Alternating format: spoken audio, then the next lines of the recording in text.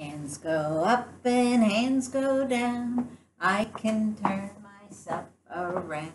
I can stand up on one shoe. I can listen, so can you. I can sit, I'll show you how. Story time is starting now. Hi, everybody. It's Miss Denise back, and I have a story today. And who else is ready for a story? Hi, Lammy. Yes, see all the children and all the big people. Yes, it's nice to see everybody come back for story time. Well, today's story is really different. Today's story is called A Finger Play. But first, we're going to do a little bit. We'll show how it goes, and then we'll use our fingers to tell the story. Sounds good? All right. Here we go. And it's about five little pumpkins. Five little pumpkins sitting on a gate. The first one said, Oh my, it's getting late. The second one said, There are witches in the air.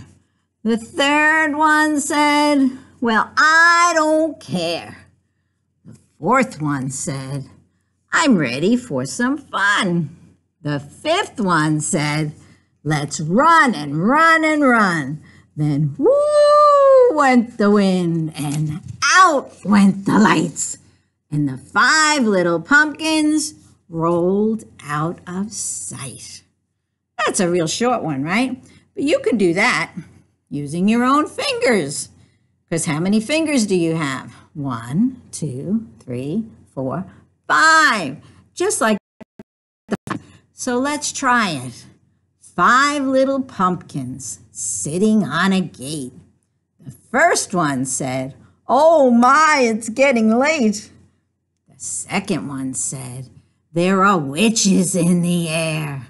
The third one said, Well, I don't care. The fourth one said, I'm ready for some fun. The fifth one said, Let's run and run and run. Then, went the wind and out went the lights. And the five little pumpkins rolled out of sight. Oh, you like that one, Lammy? Yeah, I did too. That was a good one. Okay, we'll do it one more time. We'll do it one more time so the children can learn it. All right, here we go. Let me see your five pumpkins.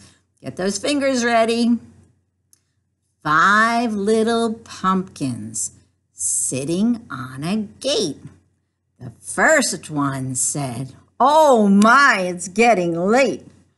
The second one said, There are witches in the air. The third one said, Well, I don't care. He was fresh.